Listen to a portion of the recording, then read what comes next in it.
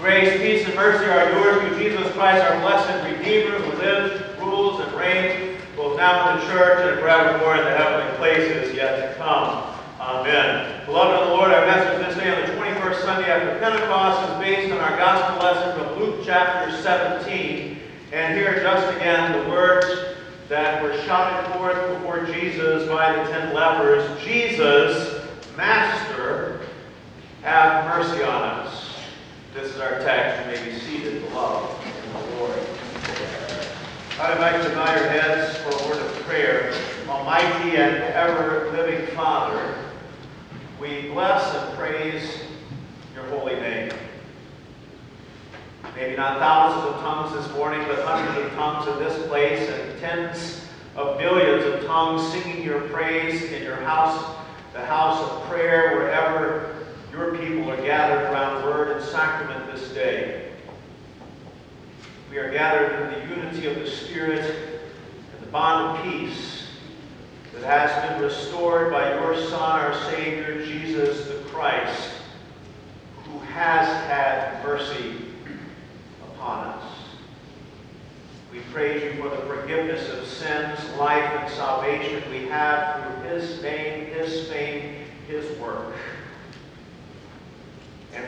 You to continually give to us the gift of your Holy Spirit that we can walk in uprightness of heart and life, serving you in gladness with hand and heart and voice. We implore you, dearest Jesus, may the words of my mouth and the meditation of all our hearts be acceptable in your sight, for you are our rock and our Redeemer. Amen. Now, if you're like me in life, you might have times where you've had a really bad day. I can recount in, recent time having a bad day when the doctor came in and said you have cancer, and besides that, it's stage three. But that day was trumped recently again as I had a telephone call from my physician to say, unfortunately, the stage three cancer has now escalated to stage four. But there was a gentleman who was having a really rough day. He overslept because his alarm clock failed to go off. And when he arrived at work, his boss fired him because he was late for a meeting.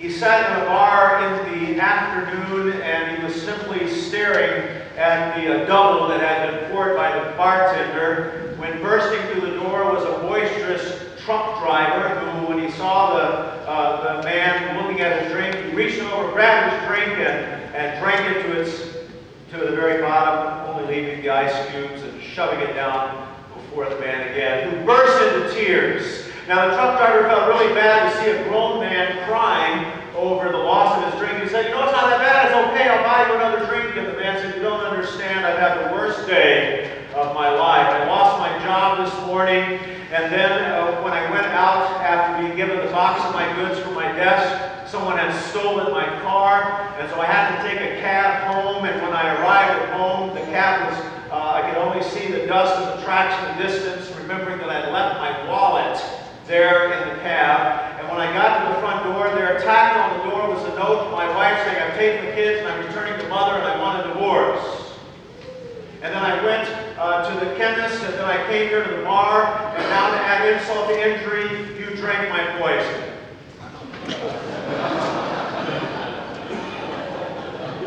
we might say that both of those gentlemen were having a bad day after that point. Unfortunately, we have imbibed in poison, a venom like no other that was first injected to our first parents, Adam and Eve, with the onslaught of original sin, and so all of us coursing through our veins is death. We might consider that we are having a bad day because the scriptures clearly teach that the wages of sin is death. And all have sinned and fallen short of the glory of God, the Bible us.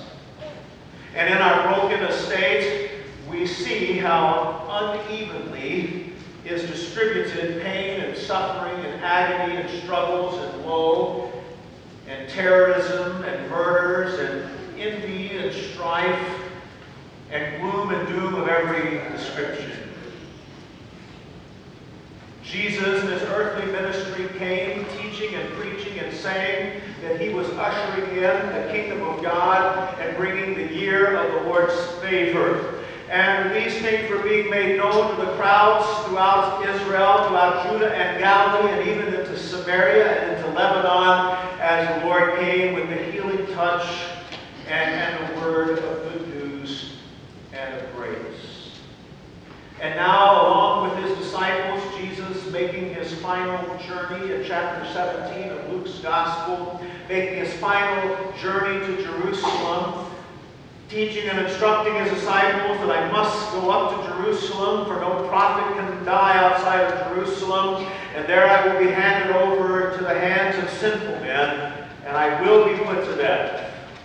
And in their anguish and in their fear at these words of Jesus, they failed to hear the rest of story, as Jesus said, But on the third day I will rise again. And as they are going, making the journey for the final time to Jerusalem, where Jesus would celebrate the Passover, and then give his own life, there is the encounter we see today from verses 11 and following, where there are ten lepers who we might say were really having not just a bad day or a bad week, but a bad life. The lepers, unfortunately, because of the disease that they had contracted in their culture at that time, were terminal what was known as leprosy in the day of Jesus. In modern day, we know as Hansen's disease, which begins with white patches on the skin where the feeling and the deadness of that because of the nerve endings dying. And that white patch of dying skin can spread, especially to the face, spongy tumors appearing, and the, the loss of the ability to have feeling in the in the digits, the fingers and the toes, so that many times those with this disease can put their hands in fire, not realize that they were being burned, and they might have wounds would not heal because they could not feel the sensation of pain. Most of the, the lepers did not die of leprosy, as hideous and horrible as it was, but from other diseases because of their weakened immune system uh, that plagued them because of the disease coursing through their bodies. Great fear gripped people uh, because of this disease, leprosy, so that they were sent out from the community and from the church. They were declared unclean. You can read from Leviticus how there was a great uh, trial then if someone is ever to be declared clean once again in order to be restored. You can think about the Old Testament, uh, the foreigner Naaman who went to the prophet Elijah to be healed of his leprosy because of the terrible nature of this disease. And yet these ten, they were often known not as zombies from modern day movies, but they were known in the day of Jesus as the living dead. And these living dead, these ten were gathered because misery loves company, when they see the Lord Jesus coming, they cry out to him. It's important for us to know and understand these lepers had a deadly problem. They didn't band together and say, oh, well, I'm feeling better today and I think my leprosy is going to go away. No, every day in their misery they knew that they were on the slow march to death. But they recognized that Jesus could fix the problem. Beloved, we need to realize and understand we may not have some kind of a, a, heinous disease like leprosy or cancer or some kind of a physical calamity that has befallen us in our life at times. But we all have a terminal spiritual illness of sin. Because of this, we are helpless. We are hopeless. The Bible says, the prophet Ah, sinful nation, a people loaded with guilt, a brood of evildoers, children given to corruption. They have forsaken the Lord. They have spurned the Holy One of Israel and turned their backs on him. From the sole of your foot to the top of your head, there is no soundness, only wounds and welts and open sores, not cleansed or bandaged or soothed by oil. No MRI, no CAT scan, no kind of test can you take show this. But as you scan God's holy word, we find the judgment of the law therein that tells us because of sin, we deserve to die and to be separated from God eternally. We, like the lepers, have a big problem. The first thing we have to do is to recognize that problem. Lepers didn't say, we're not so bad. Things will get better. We're recovering after all.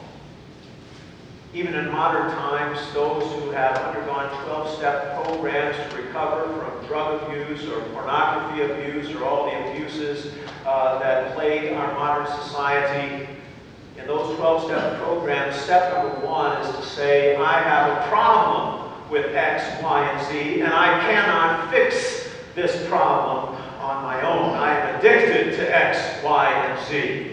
And we must readily admit as God's people that we have a problem that we cannot fix.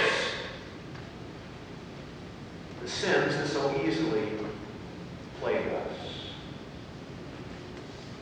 God's power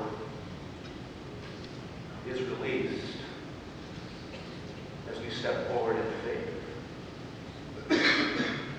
Ten lepers, when they saw Jesus coming by, cried out, Jesus, Master, have mercy upon us. To this very day, dear friends in Christ, it is the cry of the church, and we will kneel down in our time of prayer later this worship, and we will sing together, Lord, have mercy. Kyrie eleison. Christ, have mercy. Christe eleison. Lord, have mercy. Kyrie eleison. The cry of the church is that God would mercy us. That is, in an undeserved way, God would in Christ bless us, that He would cleanse us, that He would make us whole, that He would forgive our sins, and knowing, as Luther says, wherever there is the forgiveness of sins, there also is life, and salvation. Jesus, when He heard the cry, stopped rendered aid. Go and show yourselves to the priests, Jesus told them. And they responded, all ten of them, to the word of God, spoken to them by the very word of God made flesh, Jesus Christ. Go show yourselves to the priests. They left immediately, and while they were going, they were cleansed. They listened to the word God. We can think about how the Word of God in flesh came to the disciples. And how for one instance, the disciples were in a boat and they were buffeted by wind and wave on the Sea of Galilee. And Jesus came after his prayer time on the mountain, walking on the water towards them. And they were filled with fear when they saw this specter. And Christ said, Do not be afraid, it is I. And so Peter said, Well, if it is you, Lord, then bid me come. And Jesus told Peter, Come. And heeding the word of God and keeping his eyes on Christ, Peter went out walking on the water because he heard the word of God and he responded in faith. And this miraculous thing took place until Peter took his eyes off Christ. And when he looked to the left and the right and saw the winds and the waves and was filled with fear once again, he began to sink and had to cry out, Jesus, have mercy on me, save me. And the Lord chided him, O you of little faith. As we encounter Christ and His Word, as He speaks to us, we are to step up and to step out. Not filled with fear, but with faith. And as they went, they were all cleansed, but one, having seen that he was cleansed, returned. He didn't merely want to have a Savior who helped him and aided. You know, the Lord God causes the rain to fall on the just and the unjust. Miracles of health and strength and life are intermittently given to people of the globe as God gives uh, hands and minds to surgeons and to counselors and to all those people in the helping vocations that people, His creation, might be helped. Nine went on their way in true religion to show themselves to the priest, in joy of being restored by God. But one returned wanting more than that, to be in a relationship with the one who had healed him.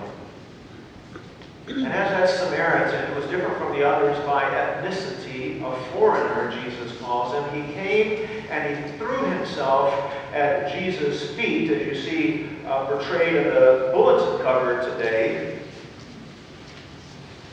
When he saw that he was healed, turned back, praising God with a loud voice, and he fell on his face at Jesus' feet, giving him thanks.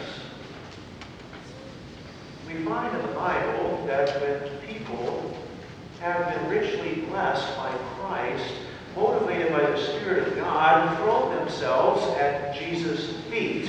And so you can think about when Jesus went to visit at the home Mary and Martha, that Mary positioned herself in the role of a disciple at Jesus' feet, listening to the word of the Lord. Or the woman who had been healed by the Lord Jesus came and broke open the perfume vial and washed Jesus' feet with her hair. Or we can think about the 24 elders as is recorded in the book of Revelation. When Jesus is present in the throne of heaven, the 24 elders representing the whole church, Old Testament, New Testament, they bow down with their, with their heads before the feet of Jesus. He came thanking and praising God in a loud voice. He recognized Christ as the Son of the living God. That made a difference in his life. Jesus said was only one to be found to return thanking God. Jesus receives the praise, for truly he is the Lord of healing and the King of the universe, the master of creation, one with the Father and with the Spirit, true God. This one came thanking the Lord Jesus and was commended, go, your faith has made you well. Now I'm sure that these ten lepers experienced other things in their lives that brought about their earthly demise. And their bones and their dust and ashes have joined with the march of time we know that we are but ashes and dust. And yet we proclaim with Job of old, I know that my Redeemer lives, and at the end I shall see him. Long after my flesh has been destroyed, yet in my body I shall see God. This one returns thanking the Lord. The call of you and me as Christians in the modern day world, as we see and know and understand that we have been forgiven of the leprosy of sin, that we have been washed in the blood of the Lamb, slain from the foundation of the world, are called, called not to a life of shallow thanks, but a life of true gratitude for what God has accomplished for us, for our life, for our eternity. One of the longest running television shows is a raunchy comedy known as The Simpsons. And uh, you can, even if you've never watched the program, you can't help but go into Walmart or any other store. There's posters and t-shirts and the like for the Simpson family. And so the little mischievous boy, Bart, at one point was asked by the father Homer in one of the episodes, uh, Bart, you give thanks uh, for the meal. To which Bart boy responded, Dear God, we paid for all this stuff ourselves, so thanks for nothing. A lot of people are there. They think that the things that they have, they have earned by the sweat of their brow and by their own prowess, their smartness, or by dumb luck.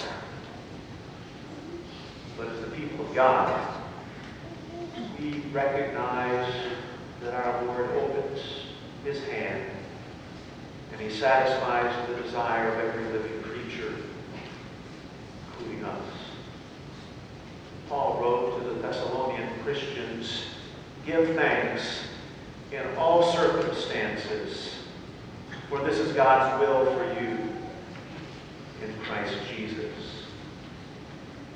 So if you are suffering from unemployment, if you are suffering from some kind of a fatal disease, if you are suffering the anguish of separation from your loved ones, if you are suffering because those you love have been taken and ripped asunder from you, Paul invites you to give thanks in all circumstances.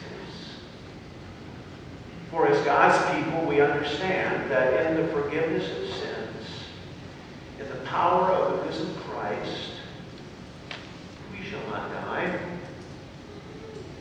we shall live. Today is not a bad day. Day in Christ is a good day. I bid you, dear friends, relish the good days that you have been given by Christ as we cry out, Jesus, Master, mercy us. And friends, he does just that. He mercies us for time and for eternity. Amen. May the peace which passes all understanding keep our hearts and our minds through Christ Jesus, our blessed Redeemer. Amen. This time it is our joy to sing the praises that our God deserves. And again, I would remind you as we stand, the choir will sing the first two stanzas, followed by a musical interlude, and then we'll sing stanzas three and four. And we praise you and acknowledge you, O God, page 8.